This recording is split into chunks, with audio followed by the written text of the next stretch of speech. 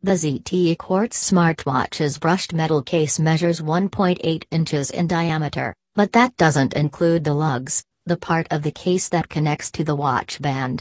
Including that area, the quartz measures 2.1 inches, which exceeded my wrist's width. The sporty black and blue band was bulky as well, suggesting that it was built for men, or women with larger than average wrists.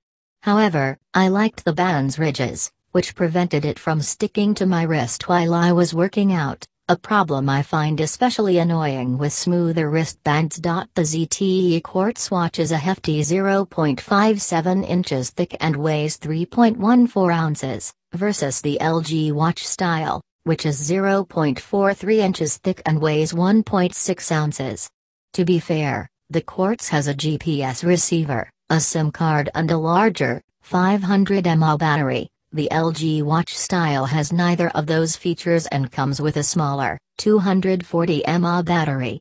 The ZTE Quartz's display is also larger, at 1.4 inches, versus 1.2 inches for the LG watch style. To navigate through your watch options, you'll tap and swipe the 400 by 400 resolution, 1.4 inch AMOLED screen and press the button located on the right side at the 2 o'clock mark. As a lefty wearing the watch on my right hand, I found it annoying to have to reach around the screen to get to the button.